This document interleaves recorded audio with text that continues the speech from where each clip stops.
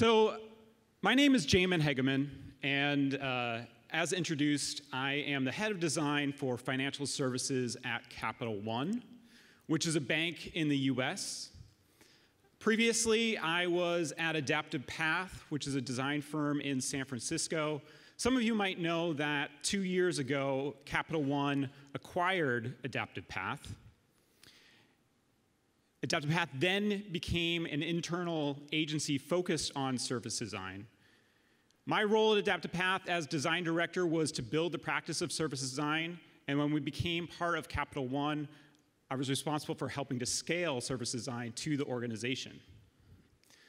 A few months ago, I decided to take the role of head of design for the financial services division. I now lead a team of 45 designers and researchers.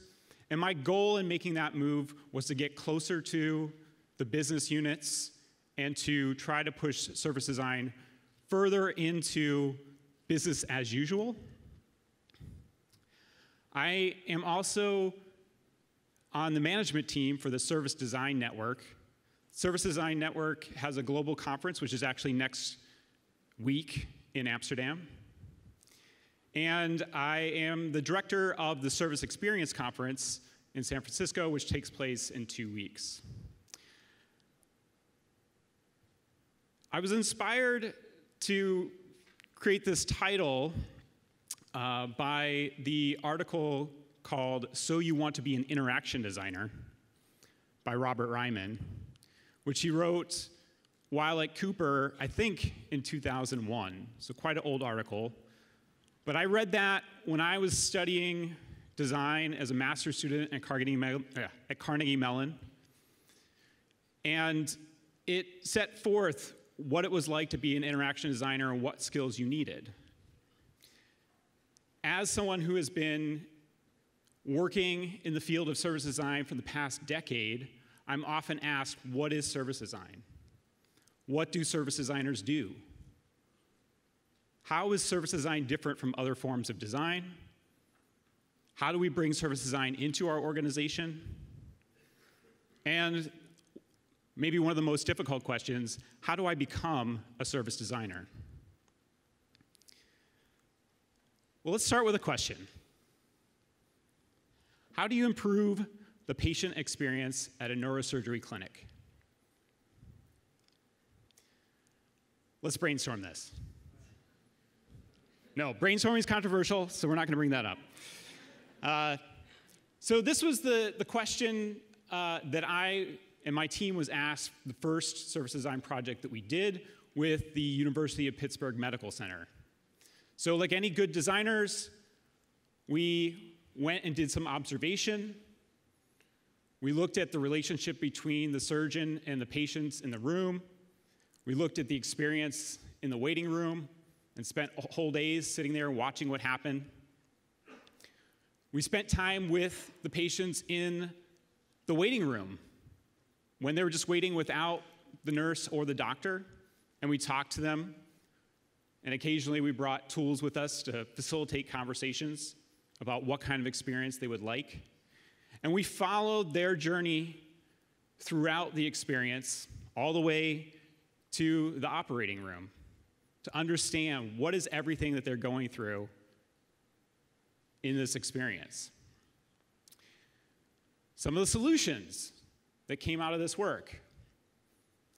First, if you notice the photo of the waiting room, looked pretty crowded. There were a lot of people in wheelchairs. A lot of those people were actually out in the hallway, which was a little bit dehumanizing to be sitting out there when you really wanted to see the doctor in the clinic. So we suggested, well, let's rearrange the chairs to make more room for wheelchairs. Surprisingly, that was controversial, uh, which also is indicative of the challenges we face in making changes to our products and services. If changing seats in a waiting room is, whoa, whoa, whoa, I'm not sure we can do that. Well, let me check. And here we are saying, like, no, we'll come in, we'll do it. You don't even hire anybody. We'll put them back. We also decided that the brochures and artifacts that were in the waiting room did not reflect the experience that you actually had with the clinic and with the surgeon. So we designed new communication artifacts to better reflect that. We also came up, at least conceptually, with a new interactive system that allowed patients to engage with staff and, the, and the, the surgeon while they were in the clinic, in the waiting rooms, and even when they were at home. And why I bring this up, because I think this is a good indicator of some of the difference in the approach of service design versus the approach of product design. In product design, or if you're designing a particular touch point, someone might come to you and say, Hey, I want this thing. I want you to design this tablet. I want you to design this interface. I want you to design this shoe. And you might go through your double diamond process or whatever design process you like to use as a model to communicate how design works. And you end up with the thing you started with, which could be fine. That's, that might be what you need. In service design, you're looking more broadly and you don't necessarily know what kind of solutions are going to come out at the end. But it's also a great opportunity because it leaves the potential solutions open. It doesn't close you to a particular way of solving the challenge, or as some people said, finding a way to connect to the meaning that people will, that will resonate with people. So let's talk about service design itself. How does a service designer think about design? Well, what is a service?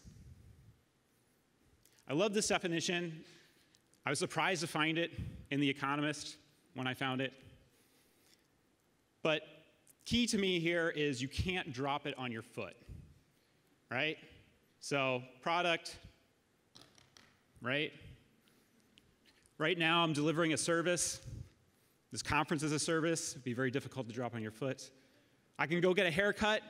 I can show you that I got a haircut, but I can't really give that to you or show that to you. A website is also kind of amorphous. And I would argue that when we talk about products and product design, often we're really talking about services. And maybe we're designing products within the context of that service, so even earlier when we saw the, was it Tune? That was a service. That was providing a service of feedback on your performance. And the way they delivered it was through the chip in the shoe, and they had to design that. But that's, they're designing a service to deliver that value for the customer. Service design, you want a definition for that? Applies the methods and craft to definition and orchestration of service experiences, which involve all the product's communications, interactions, operations, culture, structure, and organization. The good news is, if you're a designer, you're using design methods, you're using design craft, you're going through a design process which is similar to any other design process. But you're just looking at different things. And some of those aspects of service, designer like myself, I am not highly skilled in understanding operations, cultural change, or how organizations are structured, but I know that's part of the domain of service design. Another way to think about it and the user experience, and we can argue about this if you want later. But service experience focus on all the things that someone might interact with and the relationship between those things, whether it's people, places, artifacts, while user experience tends to be more focused on the one-on-one interaction. Depends how big you draw the umbrella. Another way to think about service design and all the things that you would be considering is this model here, where yes, customer experience is part of service design, understanding the different service interactions that people are experiencing, but also understanding the staff or the employees or the nurses or whomever your customers are interacting with, because their experience is going to have an impact on the overall service experience. And then the things that are supporting them the products, the operations, the way a business is structured. And most businesses, as was mentioned today, are structured in a outdated system based on industrialization or Taylorism, divided into silos and tried to be optimized. This doesn't always yield a great customer experience because people feel those silos. They know when they're, I mean, they might not know, but they complain when they're not connected or they're being handed off from one group to another. And the culture has a big impact on that as well. Big organizations, large organizations that have been around for a while, don't necessarily have the culture that we're, I think, talking about today. That design mindset, the human centeredness. So, a lot of the work in bringing into large organizations is helping to build that culture. Younger startups, we mentioned this earlier, have an easier time of it. You're also not, again, just focused on the customer. You're building empathy with the customer, of course, but also the people delivering the service. And you need to empathize with the business. You need to understand the needs, what they're driving toward, what their metrics are. Because in service design, we talk about co value. In designing a solution, we want to ensure that it has value for the people we're trying to serve and value for the business. Otherwise, they won't be able to sustain the promise of the service. Some ways to think about generally the types of service design engagements that you might experience. Could be an entirely new service. You could be starting from scratch. This doesn't happen often, but occasionally, and use the service design process to come up with a new vision or a new story of the experience you want to create. Or you might be looking at an existing service. Go through your process, and the outcomes could be anything from organizational change, process change, digital output, physical output. And again, for me, I went to design school. I'm not so skilled in some of these things, so I'm going to be working with other people to try to meet these business needs.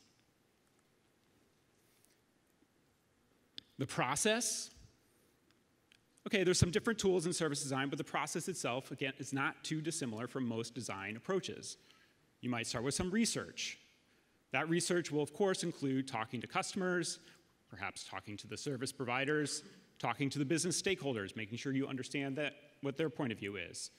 Turning that research into journey maps, understanding that end to end customer journey and how that journey relates to the service we provide. Using that in brainstorming to do ideation. Or maybe not. There's no, there's no right way to come up with an idea, and we use a mix of methods to do that. But those ideas become the fodder for your story, your vision. We often use storyboards or movies or other ways to communicate what is the experience? What are we driving toward? What do we hope to create? What do we aspire to? And then from that, the other key service design tool is a service blueprint, which provides the customer view with the operational view, the front stage and the back stage. We saw a little bit of that earlier. And essentially provides the inventory of everything you need to create to make that service a reality or to support it. And then from that, you can determine what kind of things you need to build. You're going to be using words like I'm throwing out right now journey maps, ecosystem, blueprint, co value. And journey maps are huge, gaining popularity all the time because increasingly, people or companies are realizing that we need to understand the greater context of the experiences of our customers. There's too much stuff going on. They're interacting with all sorts of people, all sorts of services, all sorts of products, and it's not just a one dimensional relationship with the service that you're providing. So, how many people have created a journey map? Lots of people. A few years ago, if we would have Googled journey map, it wouldn't have yielded as many examples. Uh, this page scrolls and scrolls and scrolls. But they're becoming very commonplace. And they're useful whether you think yourself as a service designer or not. But journeys are very important to service design. And the journeys that we create are essentially a vision or the story, either the existing story or the new story that we want to aspire to. And they can happen in different dimensions. I talk about, when I talk about service design, I'm often saying levels of zoom because you're zooming in and zooming out to understand different levels of experience. So we can think about the journey in this case, if this is our bank, we've got a credit card function, we've got a banking function, we have home loans and auto loans and financial services. And we can think of the, the journey or the experience that we want to create for our banking customer.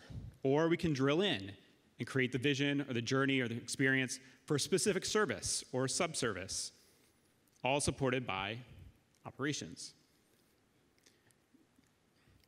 Forward thinking companies are looking at how they organize around experiences or journeys. Again, the journey could be the vision, what you're trying to create. So, if this is our high level story, what are all the key moments of that story that we aspire to? What are all the features that support those key moments? What touch points are we creating that represent those features? And then, what, do we, what requirements do we need to make that a reality? So, as what was mentioned before, in the past, we might have started with, well, what are the requirements? But we don't have the story, and we don't have a way of organizing experience to understand our relationship in the organization, which is especially important if you're in a large organization. You want to know how your part is contributing and Im- impacting either the overarching story or the people around you. So I like to think of service design as giving form to something that doesn't have a form. Designers are form makers, right? We give shape to communications, to products, objects, we give shape to experiences. Services, again, can't, can't hold on to them, can't give them directly to somebody else. But we need a way to give it form so that we can work with it. And that's what service design does. So, if you are a service designer, you start to work, look at the world a little bit differently. Like any designer, I think you start to look at the world differently. You start analyzing or critiquing things that are in the sphere of the kind of design that you do. So, uh, a couple weeks ago, I was in London and I stayed at the Citizen M Hotel in Shoreditch. Has anyone ever stayed at the Citizen M? Yeah? I know they have a couple in the UK, one in New York, maybe a couple over here. But if you're doing any work in the future of hotel experience, you should check out this hotel because it has a lot of things that I think would come very naturally to uh, what is the future of hotel experience. So when you check into the Citizen M Hotel, first of all, you don't go up to a desk that has a greeter. You don't have to talk to anyone at all. You've got self check in. You can type in your name, select a little key card, activate it, select your room, and be on your way. There is somebody there to support you if you need it, similar to the airport, airport kiosks. But you can self check in. And then you go up to the room and you tag the door with your card. It unlocks the door, you open the, open the door, and the lights are already on. Because who wants to walk into a dark room? Not genius, but thoughtful. Somebody thought about the experience and what that would be like, and they connected it to what you did below, to what you're doing walking into that room. Then you start to notice the artifacts in the room that are helping you understand what the hotel provides, trying to develop a relationship or give a sense of the character of the service or brand you're interacting with. The TV has your name on it. I just selected this room, I chose it, it already knows, okay, technology, we know it can do this stuff, but hey, that's nice. It's a nice little touch. You're connecting the dots. I took this picture because I love the book Pictures of Dorian Gray.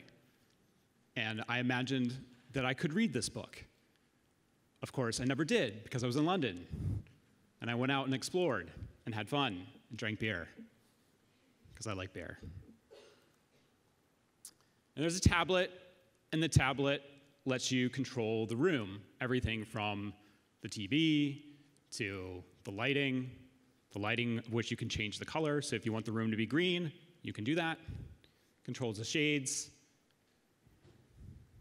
And they even offer free porn. Who does that? Apparently, they did some research. People were into that. I don't know. So, there's all these different things. You're noticing them in a sea of lots of different experiences, and you start to put them together in a way that becomes a journey, in a way that gives shape to all these little dots, and you start to connect them. You create the story, you create a way for you to look at this experience and design it so that it's connected and makes sense for people going through it. So let's talk a little bit about the principles you follow. So, what does this look like? In service design, at least according to one book, the principles are thus human centered, co creative, sequenced, visual, holistic. Now, we talked about human centered previously, and I actually reflected on this. Why is human centered on this list? It's design. Of course, it's human centered. It Doesn't matter if it's service design or product design or communication design, it should be human centered. But as we talked about before, we're not always acting in a human centered fashion. We need to remind ourselves, we need to remind our businesses, and I think that's why it's on this list. So that means doing research, engaging with people, this is some work we did in the past with the McKesson Foundation, helping to figure out how to deliver a service that provides care packages to cancer patients uh, when they have to suddenly uh, go to the hospital uh, without any planning. Going back to the neurosurgery clinic, we're doing research here and getting the human centered perspective of the nurses. What is their world like? And we're using visualization tools to help them have that conversation.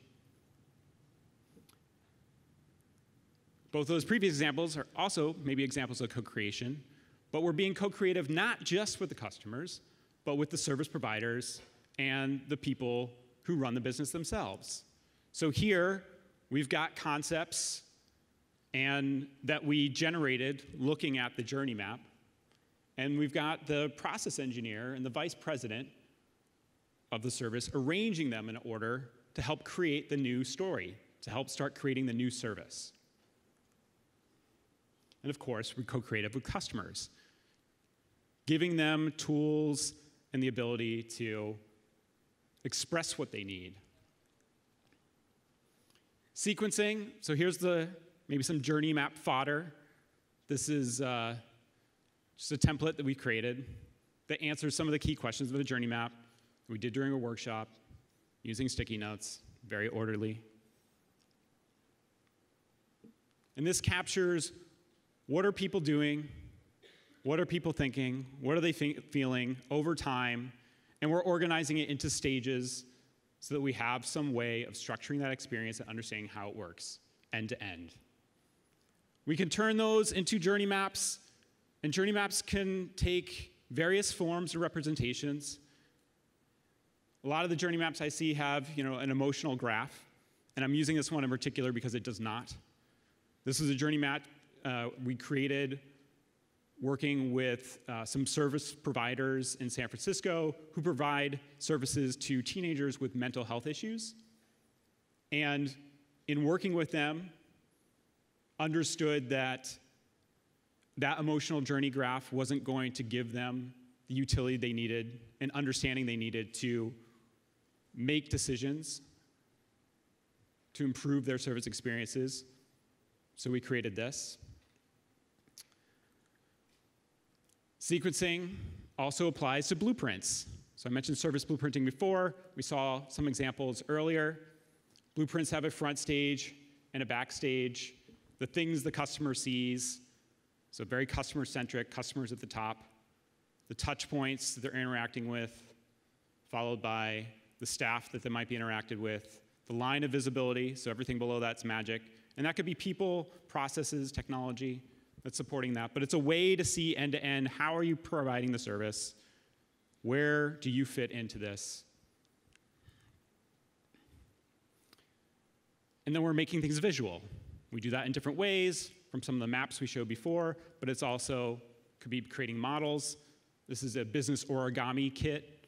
Uh, this kit in particular was created by Jess McMullin, but it was inspired by some designers at Hitachi. And I've since created my own little kit to be able to model physical experiences and show relationships to design services. But as we keep talking about today, it's also about creating and visualizing the story, visualizing the experience, helping people understand beyond the requirements what is it we're trying to accomplish. It's about being holistic, so understanding ecosystems.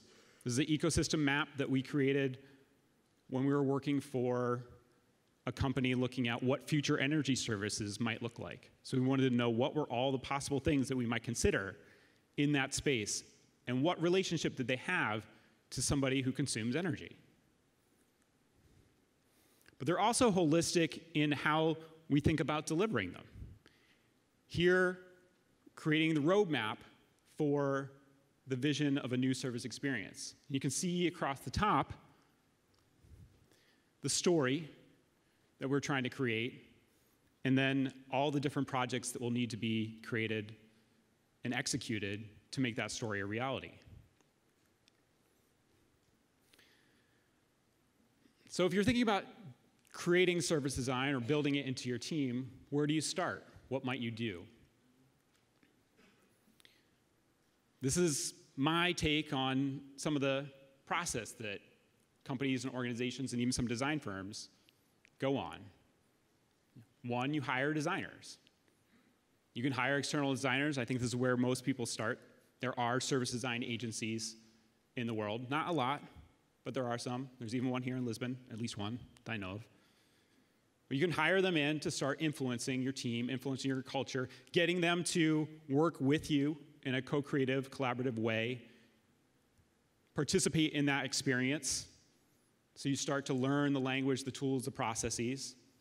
But after a while, you realize that, hey, it can't just be this separate service design team or service designers. We need to have cross disciplinary collaborative teams that combine business mindset, design mindset, technology, marketing, operations. And we start building different types of teams. And then, maybe way over here, and very, very few, but some companies are starting to think about this. Maybe we change the way that we're organized. Maybe we organize around experiences and we have different functions and different roles. In terms of how you engage with service designers, again, you might have, if the, if the dark blue dots are your business or the non designers, you might, yes, at first interact externally. Or, as we've tried doing in Capital One in some cases, having individual designers join product management teams and influence in a one to one relationship. Of course, as in this thing, they're outnumbered. Or maybe you do a hybrid. And this is where I think my team will ultimately go, we have some designers who are able to work on strategic projects and augment teams while others are embedded to support teams in ongoing operations. So a service design team, if we create new teams, might be built on all these different disciplines rather than just a designer. And we talked a little bit about discovery and delivery earlier, but in service design, since part of it is setting that vision, maintaining that story, and planning for that, we need to find ways to interact between the day to day operations and delivery and maybe a separate track that is always pushing the aspiration, pushing the story, responding to what we're learning as we deliver and change operations, but are also influencing delivery and operations. And radically, what if there was a service experience officer? One thing that I have realized in my consulting work is no one owns the end to end customer experience. When I try to find the person who's in charge, I usually have to get to the president. And that's not actually the person who's going to be making sure that everything is seamless and ties together and connects the dots. So, what if we had both teams that are dedicated to that and the individual businesses and somebody who's responsible for that and accountable for delivering on the story and finding the meaning to connect to people. All right, so let's say some of you are curious, service design curious, and you ask me the difficult question of, well, where do I start? Uh, some easy answers. Well, you can read the service design books. And there's a great website out there called servicedesignbooks.org. Uh, pretty straightforward, so congratulations on them for doing that. Uh, a couple of my favorites, though, are listed on the side. This is Service Design Thinking. Uh, I'm a little bit biased because I have a case study in there, but it's a good reference book. There's some other very thoughtful books on there. Learn the tools. Start bringing the tools into your practice. This is another very complicated website called servicedesignTools.org. And it's a great compendium of different methods, techniques, and many case studies to go along with it that can help you figure out which things to build into your practice. Well, you can go to conferences. Obviously, I'm at the wrong conference because this is a product conference and I'm a service person. Sorry about that.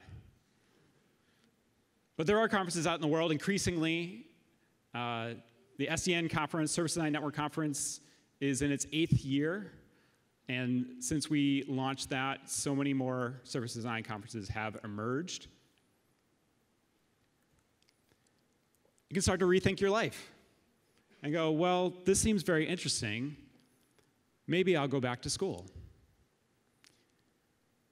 That's what I did. Of course, I didn't actually know about service design when I went back to school, so I cheated in a way. But you could take some time out of your life and really get in deep with these methods, really gain some experience so that you can go out and start marketing yourself. Increasingly, though, there are people looking for service designers.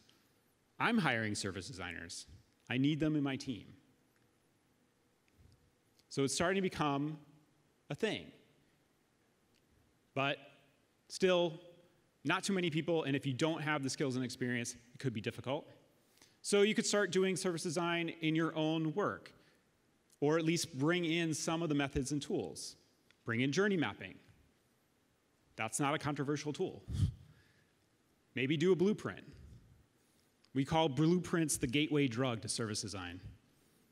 Because when you do them with operations folks, they suddenly get it they suddenly see the connection between their world and the customer experience. And they're constantly hearing the customer experience is important, but they don't know how to connect to it. So try blueprints for that. Of course, if you're all by yourself in an organization doing that, you might not be learning as much. Uh, but then there's the community. Go to workshops, go to conferences, tap into people in your local neighborhood. But ultimately, you need to build your skills. And this slide is again, connected to So You Want to Be an Interaction Designer, where Robert Reimann essentially outlines what is the focus of interaction design, what is the approach, and therefore, what abilities or skills do you need? So I tried to summarize my view on that.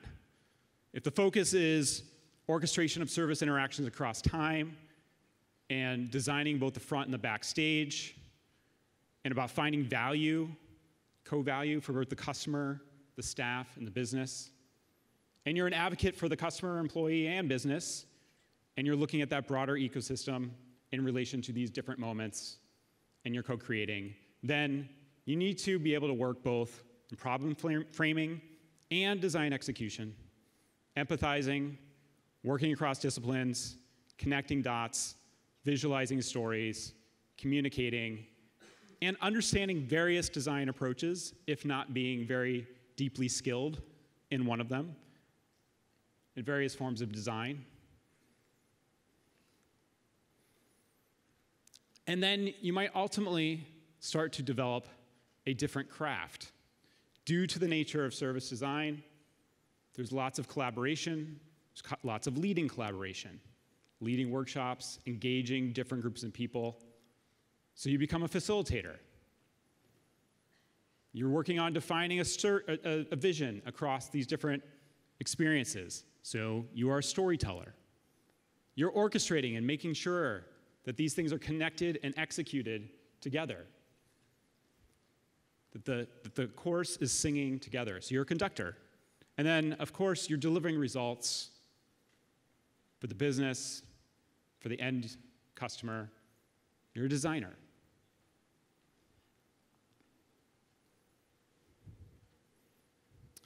So there's three things I'd like you to take away from this.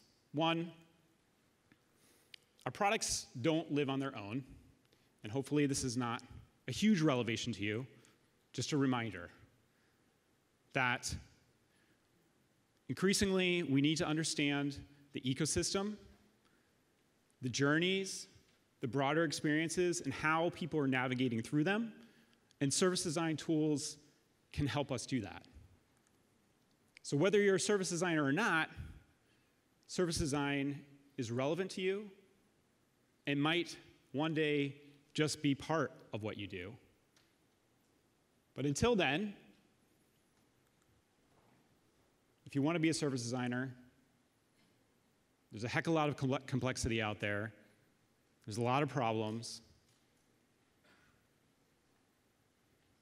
The world needs you. Thank you.